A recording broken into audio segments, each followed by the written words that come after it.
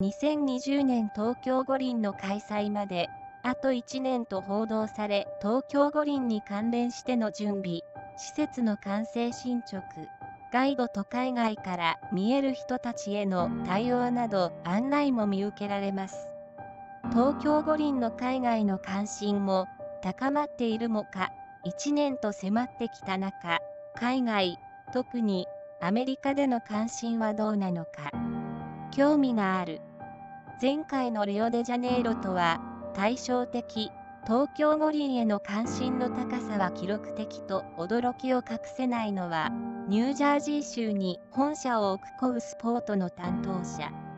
チケットの購入も割り当て枚数よりも多数の応募者がいるためにむしろ購入できない不満があるようで、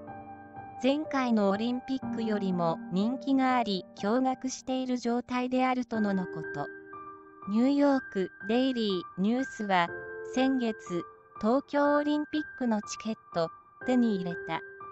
比類なき需要の高さで多くが失望という見出しで、抽選販売で当たらなかった人が続出したことを報じた。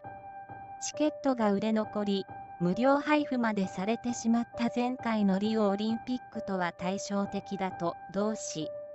いずれに寄せ、限られたチケット枚数に対してそれを上回る人々が抽選販売の登録し、多くの人が手に入れられずに失望したことを報じた。